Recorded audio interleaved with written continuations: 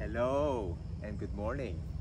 My name is Kristoffer, an amateur weather observer, and welcome to a new episode of my daily backyard weather observation here in our neighborhood, Lorne Park, Lakeshore, Mississauga, Ontario, Canada. It's Tuesday, August 27th, 2024, 9 o'clock in the morning, Mainly clear skies with a few clouds at 2 oktas. Temperature, it's 22.6 degrees Celsius.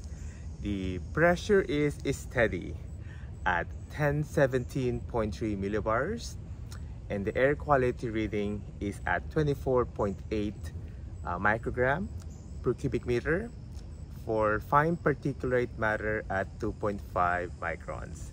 Precipitation wise, let's check the rain gauge.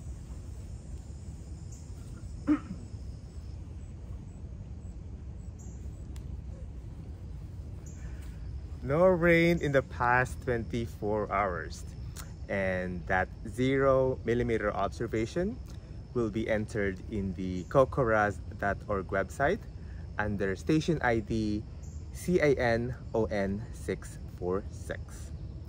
Well, one of the great things that I enjoy doing this weather observation is that it reminds me of our oneness with nature.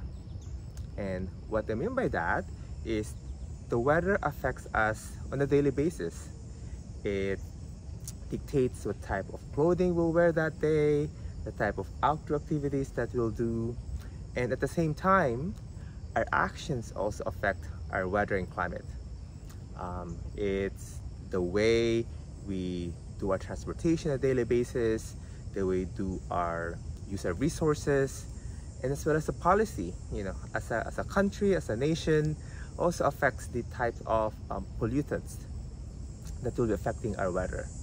It's just um, fascinating and also humbling to know that our actions affect our climate and at the same time the climate and then the weather on a daily basis also affects us. It just makes you um, appreciate the nature and also our actions on a daily basis and how our actions will also affect the future generation. Well wherever you are friends i hope you're having a great time enjoying the type of weather uh, you're having today. And always remember that the sun is always there and the cloud shall eventually pass. Have an awesome day. See you again tomorrow. Take care.